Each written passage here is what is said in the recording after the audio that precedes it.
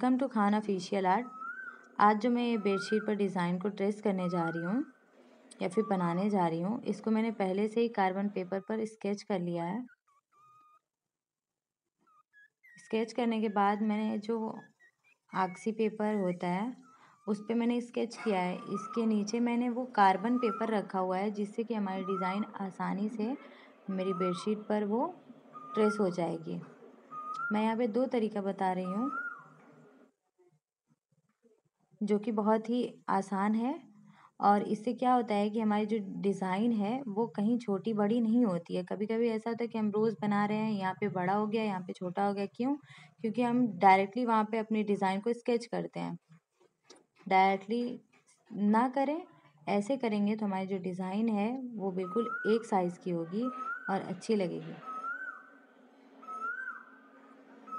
मैंने इस टॉपिक और बेडशीट कभी कभी हम लोग जब बेडशीट को पेंट कर लेते हैं, उसके कुछ दिनों बाद जब हम अपनी बेडशीट को देखते हैं तो वो बिल्कुल ख़राब हो जाती है हमारी पेंटिंग इसका इसका इसका जो रीज़न है, इसके बारे में मैंने एक फुल वीडियो बना रखी है।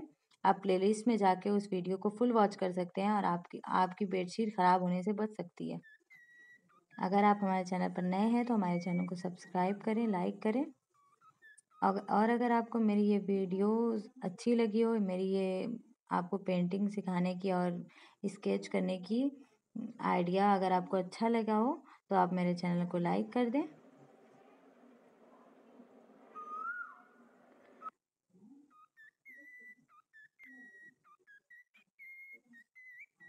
मैं यहाँ पे आपको दो तरीका बताऊँगी। डिज़ाइन को अपनी बेडशीट या मेज़ पोस्ट, पिलो कवर। या जिस भी चीज़ पे आप डिज़ाइन को बनाना चाहते हो, आसानी से बना लेंगे। देखिए, अभी मैं इसको हटाऊँगी तो हमारी जो डिज़ाइन है वो कितनी अच्छे से ट्रेस हो गई है। इसके बाद हम हटाएँगे। देखिए कितनी आसानी से हो गई। कहीं कहीं मैं भूल गई हूँ तो इसको मैं बराबर कर लूँगी। देखिए कितने अच्छे से हमारे डिज़ाइन आसानी से मेरी बेडशीट पर हो गई है। अब नेक्स्ट तरीका मैं बता रही हूँ कि आप जो आक्सी पेपर जिस पे आप डिज़ाइन को स्केच किए हैं, एक सुई या फिर जो टाशनी पिन होती है, उसकी मदद से आप सुराख कर लें और जो सुराख है, उसको आप बिल्कुल नज़दीक नज़दीक करें। दूर दूर मत करिएगा। देखिए, जैसे मैं कर रही हूँ, आप वैसे ही करिएगा। मैंने और भी वीडियोस बना रखी है, बेडशीट पेंटिंग और सूट पेंटिंग, दुपट्टा पेंटिंग। आप वहाँ पे जाके मेरी फुल, मेरी पूरी वीडियो को फुल वॉच कर सकते हैं। और आप मेरी वीडियोस को शेयर किया करें अपने फ्रेंड्स, फैमिली के साथ, जिनको पेंटिंग सीखने का बहुत ज़्यादा शौक़ हो। आप उनके यहाँ मेरी वीडियोस को शेयर कर दिया करिए। देखिए, जैसे मैं अब मैं जैसे अब सुई से सुराख कर रही हूँ, वैसे ही करें। उसके कैरोसिन ऑयल में सूखी हुई जो नील होती है, उसको मिक्स करके कॉटन की मदद से आप, अपनी जो डिज़ाइन है, उस पर इस तरीके से घुमाएँ। और देखिए, हमारी ये डिज़ाइन बहुत ही आसानी से ट्रेस हो गई है। इसी तरीके से हम अब सारी तरफ़ ऐसे ही कर लेंगे। देखिए, जैसे मैं कर रही हूँ। और जो भी आपकी बेडशीट हो, उसके नीचे कोई दफ्ती या फिर कड़, कड़ी चीज़, जैसे कि कोई कॉपी वॉपी रख ले, जो मोटी हो, ताकि जो, जब हम अपने, जो कॉटन है, उसको जब रगड़ें तो हमारी जो डिज़ाइन है, वो बिगड़े ना। हमारी जो बेडशीट है, वो इधर उधर ना हिले। अगर आपको ऐसे नहीं सही लग रहा है तो आप जो टाशनी पिन होती है, उसकी मदद से अपने कपड़े को वहाँ पे पूरा फिक्स कर लें। उसके बाद हम उस पर कॉटन को कैरोसिन ऑयल में जो नील मिल, मिलाए हैं, उसमें लगा करके उसको घुमाएँ। तो इससे क्या होता है कि जब आप ऐसे करेंगे तो आपकी जो, आपका, आपकी जो बेडशीट है वो इधर उधर नहीं होगी और आपकी डिज़ाइन भी ख़राब नहीं होगी। तो सबसे पहले मैंने पेंटिंग करने के लिए ग्रीन कलर यूज़ किया है सैप ग्रीन कलर और येलो कलर।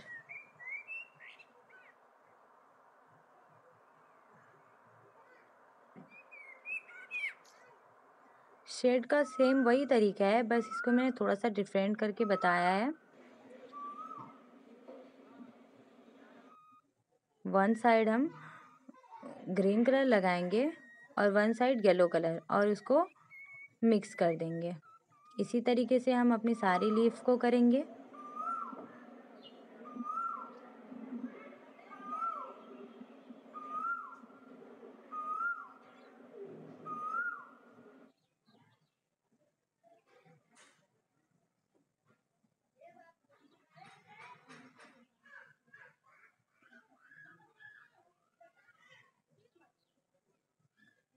ब्रश आपको, कोई भी ब्रश जो आपको सही लगे, आप वो ब्रश यूज़ कर सकते हैं। मैं जो फ्लैट ब्रश होता है, मैं उससे कर रही हूँ। आपको जो समझ में आए, आप कर लें। फ्लैट ब्रश से ये होता है कि प्रैक्टिस की ज़्यादा ज़रूरत होती है। जितनी प्रैक्टिस आप करेंगे, उतने अच्छे से आप ये ब्रश को यूज़ कर पाएँगे।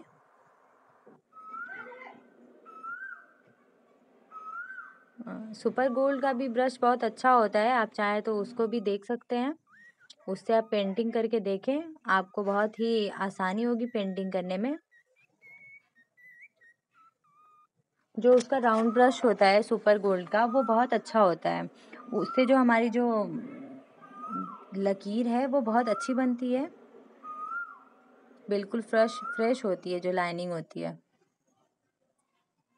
और आप आप अपने ब्रश पे बिल्कुल प्रेशर के साथ अपने ब्रश को पकड़ें और बिल्कुल नॉर्मली आराम से धीरे धीरे अपनी पेंटिंग करें। अगर आपको पेंटिंग बहुत थोड़ी सी आ रही है, आपको इतना ढंग नहीं है तो आप मेरे चैनल को सब्सक्राइब कर लीजिए, क्योंकि आपको यहाँ पे बहुत ही खूबसूरत खूबसूरत डिज़ाइन देखने को मिलेगी। और आप बिगनर्स कोर्स देख करके अब सीख भी सकते हैं पेंटिंग।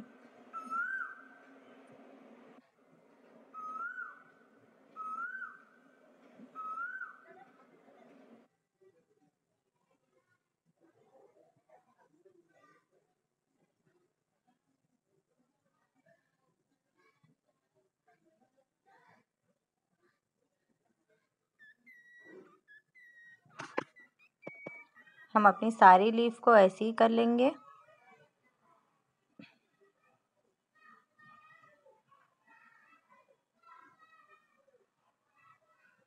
फ्लैट ब्रश से क्या होता है कि इसे जब हम अपनी पेंटिंग करते हैं, बहुत जल्दी कंप्लीट हो जाती है, ज़्यादा टाइम नहीं लगती है। शेड बहुत जल्दी हो, कंप्लीट हो जाता है। और जो पतला वाला ब्रश रहता है, राउंड ब्रश उसे करने में थोड़ी टाइम लगती है, लेकिन पेंटिंग्स हमारी अच्छी होती है। और मेरे चैनल पर मैंने मेहंदी की डिज़ाइन भी डाली है, अपलोड की है। आप उसको भी देख करके अच्छी सी डिज़ाइन देख सकते हैं और लगा सकते हैं।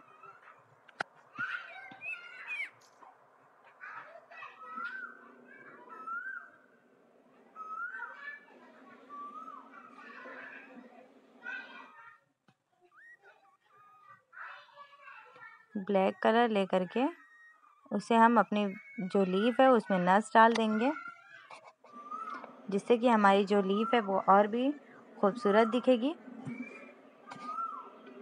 इसके बाद हम चलेंगे अपने फ्लावर की तरफ़।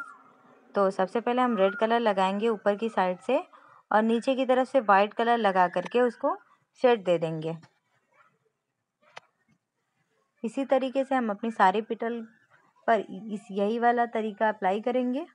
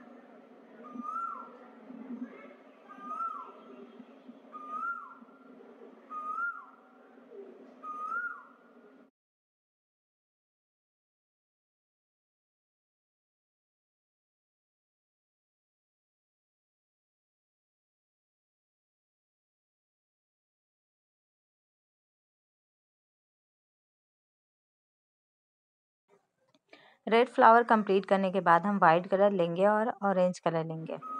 तो सबसे पहले हम अपनी कली बनाएँगे। देखिए जिस तरीके से मैं अपनी कली को पेंट कर रही हूँ। सेम वही प्रोसेस इसमें भी यूज़ करेंगे। ऊपर की तरफ़ से ऑरेंज कलर लगाएँगे और नीचे की तरफ़ से वाइट कलर लगा करके इसको शेड दे देंगे।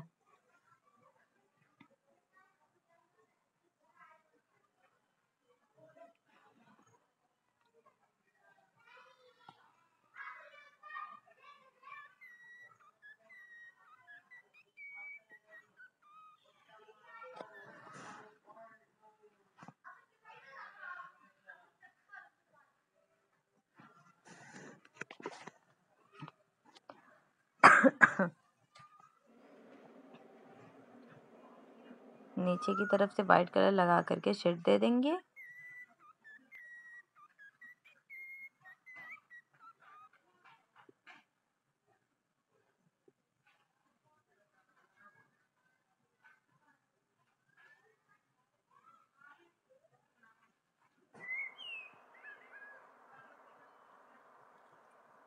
देखिए मैंने किस तरीके से सिर्फ़ एक कलर से मैंने शेड दे करके कितना ही खूबसूरत फ्लावर बनाया है।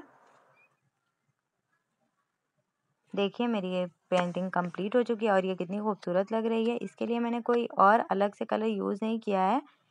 मैं बस ये पेंटिंग से ये दिखाना चाहती हूँ कि किस तरीके से हम बहुत नॉर्मल कलर से आप कितनी अच्छी सी पेंटिंग्स बना सकते हैं। चैनल को सब्सक्राइब करना मत भूलिएगा। Thanks for watching my videos. मिलते हैं नेक्स्ट वीडियो में।